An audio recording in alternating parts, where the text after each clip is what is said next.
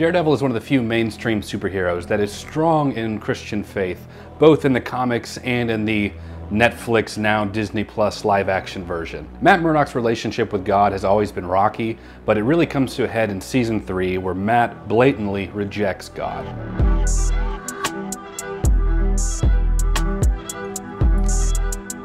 Matt doesn't necessarily sway into atheism, but rather he thinks that his perspective of God has been wrong this whole time. I don't hate him.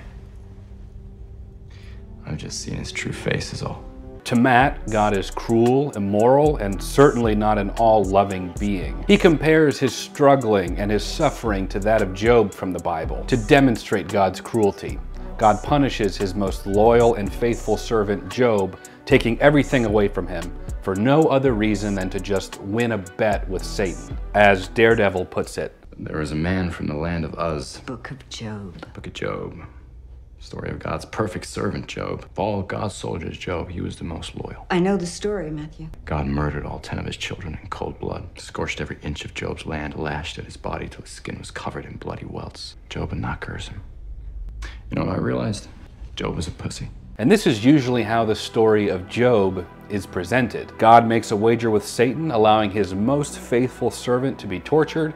This servant does not curse God no matter what, and in the end, God rewards him by giving him a lot more stuff and a whole new family. Job is nothing more than a pawn for God to prove a point to Satan. In this video, we're going to deconstruct the book of Job and determine what is actually happening. Through the lens of Daredevil, we're going to discover a few different things. Firstly, that the story of Job that you've been told is a lie. That Job, while being a good and moral person, had a very distorted view of God from the beginning. And number three is that God had good reason to allow Job's trials. The videos on this channel are meant for everyone, but this one is a little bit more specifically geared towards Christians or agnostics to help you not be afraid of the book of Job and that the point of Job is actually about a recklessly loving God who will go to great lengths in order to save you. Let's get into it.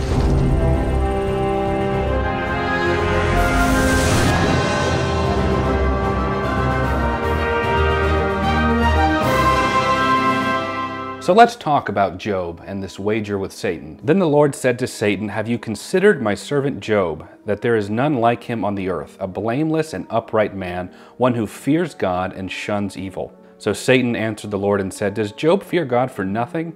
Have you not made a hedge around him, around his household, and around all that he has on every side? You have blessed the work of his hands, and his possessions have increased in the land. But now stretch out your hand and touch all that he has, and he will surely curse you to your face. And the Lord said to Satan, Behold, all that he has is in your power, only do not lay a hand on his person. So Satan went out from the presence of the Lord. God says, Look at my servant, who is blameless and upright. To which Satan says, If you weren't protecting him, he'd curse you. And what does God say? Do it. Did you catch a wager? God doesn't deny it or say no he won't. And I acknowledge this is a small thing. Okay, Holden, well technically it may not be a wager, but it's still God permitting suffering. Why? God doesn't care nor need to prove himself, least of all to Satan. But what do we constantly hear throughout the Old Testament and the New? That God loves us, that God cares about us, that God cares about Job. So how do we reconcile this? Daredevil has struggled in reconciling differences with God, but at the start of season 3, he comes off as almost a completely different man. Matt compares himself to Job due to all of his suffering, despite him feeling as though he's been loyal and faithful to God. I gave my uh, sweat and blood without complaint because I, I too believed I was God's soldier. But this isn't the only comparison to Job that Matt could make. And that's something we're going to be tackling in this video. But Job is so loyal to God. He's a blameless man. Isn't he doing it right? Why would God do this to a loyal follower? And this brings me to my second point that while Job is a good, righteous, and moral man, he has a distorted view of who God is. This is the second thing that Matt and Job have in common. Matt feels as though he's doing the Lord's work. He's looking out for the little guy. He's self-sacrificing. You could argue he even preaches in a way to the Punisher in one of the best TV show episodes of anything ever in season two. I live in the real world too, Yeah. and I've seen it. What have you seen? Redemption, Frank. It's real, Jesus and it's possible. He is so like Job. What is the problem? Well, let's look at scripture. There was a man in the land of Uz whose name was Job, And that man was blameless and upright, and one who feared God and shunned evil.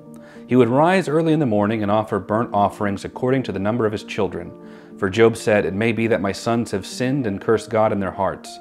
Thus, Job did regularly. At a superficial level, it's easy to look at this and say, See, Job is a faithful and good person. And this is something you need to take note of, whether you're a religious person or not. And that is that being a good or moral person does not equal following God. Compare that description of Job versus the description of Noah in the Bible. Noah, also Old Testament, also known for being exceedingly righteous, especially among a whole lot of wickedness. Noah was a just man, perfect in his generations.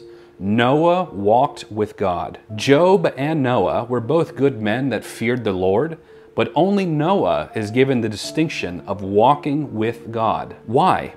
Because every description of Job is Job working to earn God's favor. He's following all the rules, he's checking all the boxes, but he's not walking with God. Job is closer in this sense to a Pharisee than an apostle. He's doing good, but he believes he's earning God's favor. Regarding another Old Testament figure, the apostle Paul writes, For if Abraham was justified by works, he has something to boast about or to brag about, but not before God.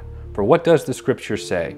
Abraham believed God, and it was accounted to him for righteousness. Now to him who works, the wages are not counted as grace, but as debt.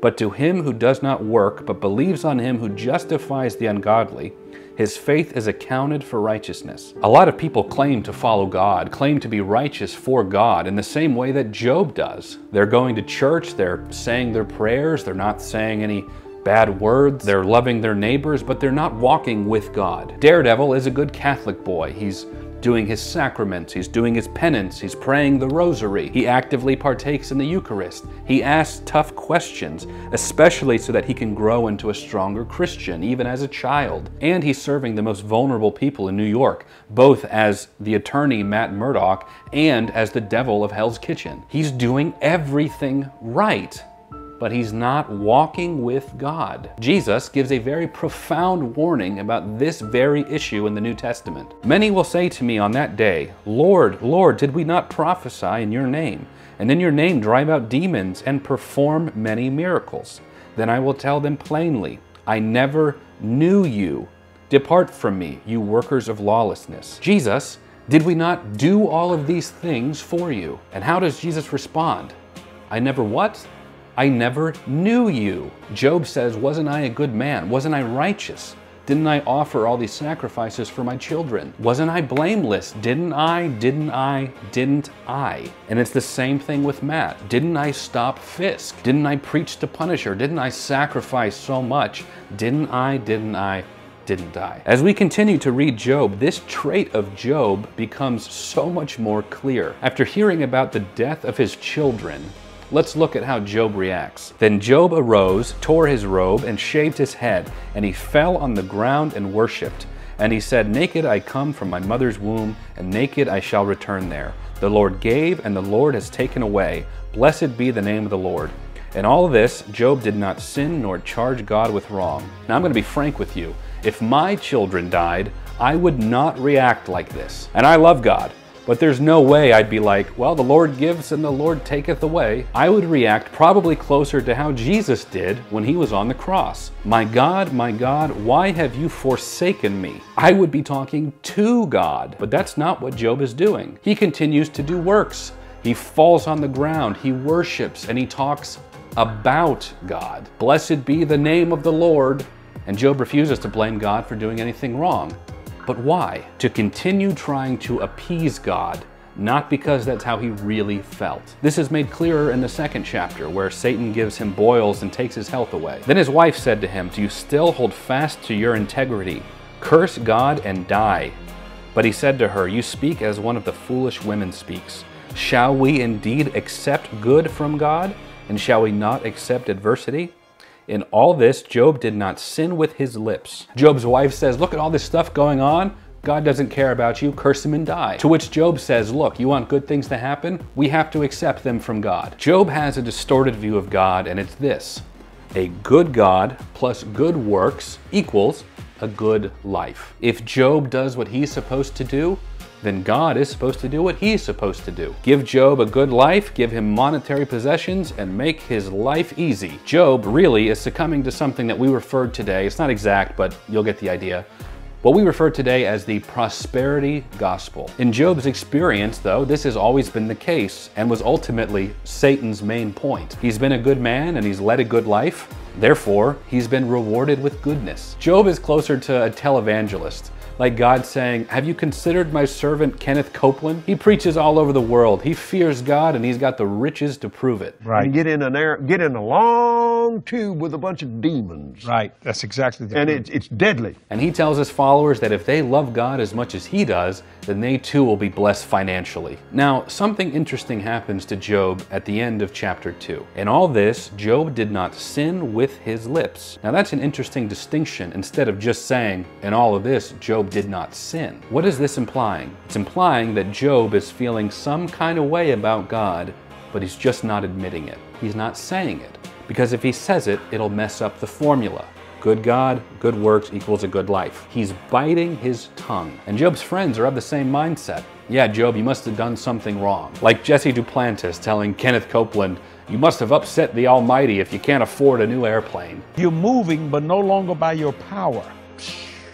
See? That's what the DVD is about. Job surrounds himself with like minded people who also hold on to this Old Testament prosperity gospel and talk to him accordingly. If the formula is not working, well, then clearly you did something wrong. If God isn't giving you what you want, then you messed up. If the cosmic genie isn't granting your wishes, well, then the only possible solution is that you've upset him. And so, this is why Job is trying to appease God by worshiping him, by chastising his wife for suggesting that he curse his name, by blessing God's name instead and not charging God with wrong. Not because of how he really feels, but because to Job, God is just a means to an end. A good God plus cursing his name equals a bad life. In all of this, Job is trying to earn back God's favor. This is where Matt has been several times before. Throughout the series, Matt feels as though he keeps trying to do good, and yet he gets kicked down for it. And in season three, it comes to a head where, you know what?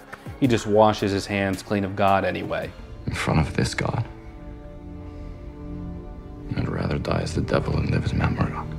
I'm tired of trying to earn your favor. If you're not going to give me what I want, then I'm done with you. But for Job, after days and days of this, he realizes that the formula isn't working. Only after his initial reactions and realizing that he can't get back on track does he begin to talk to God directly. And what does he say to God?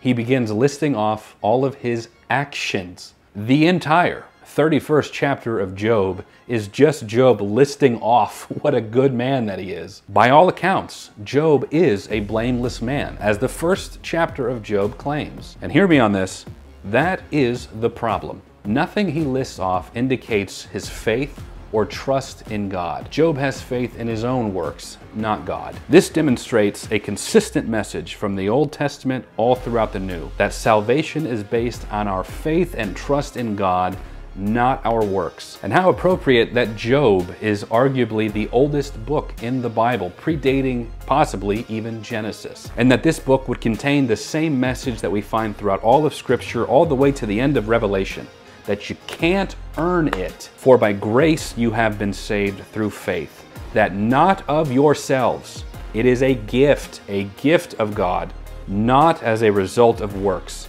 so that no one may boast, so that nobody can brag about it. In accordance with Job's prosperity understanding of God, he falls into a pit known as moralism. Moralism is the belief that one can earn God's grace through moral works, the opposite of hedonism, which is the rejection of God in pursuit of worldly pleasures. The moralist usually points fingers at the hedonist and says, You're what's wrong with the world. If only you were disciplined and followed God like I do, then the world would be a better place. And the hedonist says, It's your fault the world is the way that it is. If you would let go of your stringent morality and just enjoy the carnal pleasures of life, then the world would be a better place. And then the scripture says that they're both at fault, but actually gives a greater warning for the moralist over the hedonist. This is really surprising for a lot of people because they feel as though, well, at least the moralist is attempting to do good, but the hedonist can more clearly see their mistakes down the end of the line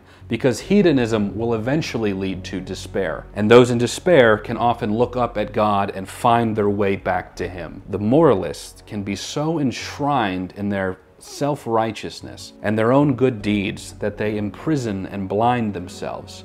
C.S. Lewis writes Prostitutes are in no danger of finding their present life so satisfactory that they cannot turn to God. The proud, the avaricious, the self righteous are in that danger. Jesus gives a parable in Luke chapter 18 of two men who went into a temple to pray a Pharisee, who was like a religious leader at the time, and a tax collector, who, culturally speaking, was viewed as like less than pond scum. The Pharisee stood and prayed thus with himself God, I thank you that I am not like other men, extortioners, unjust, adulterers, or even as this tax collector. I fast twice a week, I give tithes of all that I possess. And the tax collector, standing afar off, would not so much as raise his eyes to heaven, but beat his breast, saying, God, be merciful to me, a sinner.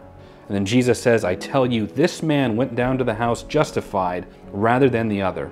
For everyone who exalts himself will be humbled, and he who humbles himself will be exalted. I see so many Christians fall into this Pharisee moralist trap. Thank God I'm not like those Mary worshiping Catholics. Thank God I'm not like those hippy dippy tongue speaking Pentecostals. Thank God I'm not like those drug addicts on the streets or so full of pride like some of these online atheists I run into. Even if I don't have it all right, at least I have it more right than they do. God surely favors me more. God, thank you for making me better than all those others. Be very careful. Let's take a look at the prodigal son. The prodigal son wastes his inheritance, he blows all of his money, and fills his desires with alcohol and prostitutes, and he's left eating out of pig troughs before he humbles himself and returns to his father. The prodigal son is not a story about just the one prodigal son, it's a story about two. When the prodigal son returns, his father is elated, and he has his servants get a banquet together and they have a huge celebration. But his brother is dissatisfied over this. But he was angry and refused to go in. His father came out and entreated him. But he answered his father, Look, these many years I have served you, and I never disobeyed your command. Yet you never gave me a young goat, that I might celebrate with my friends. But when this son of yours came, who has devoured your property with prostitutes, you killed the fattened calf for him? And he said to him, Son, you are always with me, and all that is mine is yours. It was fitting to celebrate and be glad. For this your brother was dead and is alive. He was lost and is found. Look at how the prodigal son's brother responds Father, look at all I have done. I do everything right. But your other son, who defiles your property with prostitutes, you bestow on him the greatest honor? This isn't fair. What makes the moralist so damned and even more in danger than the hedonist is that they don't acknowledge that they too are prodigal. I'm not going to sit here and tell you I know the reasons for your suffering in your particular life, but it's dishonest for us to view suffering as some kind of divine punishment. A lot of atheists will point to suffering as an example of God's indifference towards us, if he even exists. But part of being in a fallen world, a world that has rejected God, is that chaos fills that void. In this sense, suffering is a natural consequence of us being separated from God, and something that happens to the just and the unjust, as Jesus Christ himself points out. But it drives us to re examine our lives and our priorities, as Matt Murdock clearly does. Suffering creates empathy or at least it should if you aren't completely self absorbed. It's always easier to hear the wisdom and feel the comforts from people who have experienced what you've experienced. It moves us to act spiritually and gets us out of complacency. It will make you lean on God more and trust in Him if you will let it. The anxious person says, What if this happens? What if that happens? What if, what if? A person secure in trusting God says, even if. Even if this happens, I trust in you. Even if that happens, I trust in you. Even if I lose my job, even if my spouse walks out on my marriage, even if I trust in you. I love you, Lord. You are my strength. The Lord is my rock, my fortress, and my Savior. My God is my rock in whom I find protection. He is my shield, the power that saves me, and my place of safety. Daredevil is right. He's like Job, just not in the way that he thinks. They both share the same fault that neither of them says, even if I don't get what I want, even if things don't go my way, even if I don't understand, I will trust in you. Job's moralism nearly cost him his salvation. God permitted Job's suffering for Job to realize just how far off he was. He was just as prodigal as a hedonist, just as lost as a non believer, and it took all of this for Job to finally get it. My ears had heard of you, but now my eyes have seen you. Therefore I despise myself and repent in dust and ashes. Job repents of his arrogance and his self righteousness, and finally realizes that not all suffering is divine punishment. God loved Job so much he was unwilling to spend an eternity separate from him. Which brings me to another point that from the Christian perspective, all suffering, all of it, is temporary. One thing that I really struggled with in my understanding of Job is Job losing his children and his wife. In the end, Job does get rewarded and he has another wife and he does have more children, but children and wives aren't commodities. In Job's case, it's clear early on that his household is one that does give reverence to God. So it's not a huge step in thinking that Job's children could have also followed God, maybe even more effectively than Job. Even Job's first wife, in telling Job to just curse God and die, was at least more honest than Job's response, which was just Job trying to appease God but really stuffing down how he actually feels. From the Christian perspective, the story doesn't just end with Job's children and wife being dead and him starting over, but that eventually Job would be reunited with all of his family in the end. The promise of everlasting life. This is the hope that all Christians have and that unfortunately atheists don't get to share in. Of course, from the atheist worldview, these deaths are just the most evil thing that could happen because to the atheist,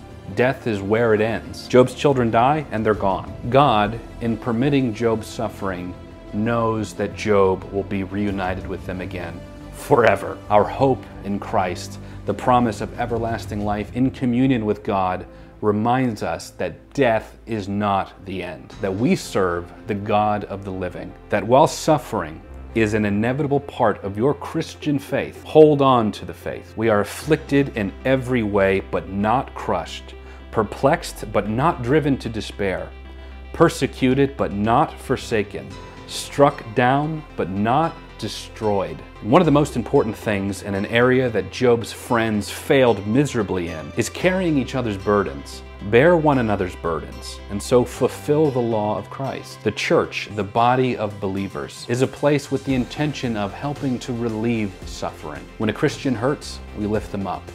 When a Christian is down and struggling, we encourage them, just as the priest does for Matt. The irony about the story of Job is that it's usually told from this perspective that God uses mankind as a pawn to prove a point to Satan, when in reality, God uses Satan as a pawn in order to save Job. Keep your suffering in perspective. I don't make this point to belittle your struggles because I do believe that God cares about your problems no matter how big or small they are, but you may be missing opportunities to practice thanksgiving. For example, I hate getting stuck in traffic. It's one of the few times I feel the Holy Spirit just leave my body.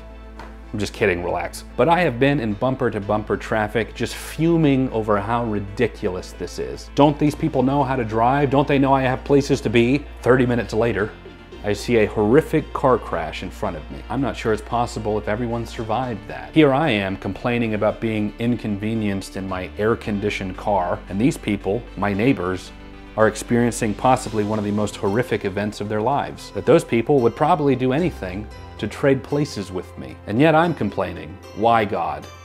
Keep suffering in perspective. The last thing to keep in mind in regards to suffering is that the finish line is always invisible. You can never see it. But take some examples in your own life of periods of time where you went through suffering, but you came out the other end. If you knew the ultimate resolution, how would that have affected how you dealt with suffering in the moment? What would it take for you to trust that God has your back despite the suffering in your life? When will your mindset change from what if, what if, to even if, even if? How much more do you need to go through in order for you to get that? Matt Murdock's journey is so relatable to me in so many different ways because, at least in this instance, it reminds me of when I was a more arrogant Christian. Arrogant in my own knowledge and in my own practice, where I thought, thank you, God, that I'm not like those people or like those believers. I know better and I act like it. Thank you, God, for correcting me, for disciplining me, for humbling me, for having mercy on me, a sinner. How much more does Matt Murdock need to experience for him to get it? He's been shot in the head, a building has collapsed on him, his hearing is restored, his friends are loyal despite him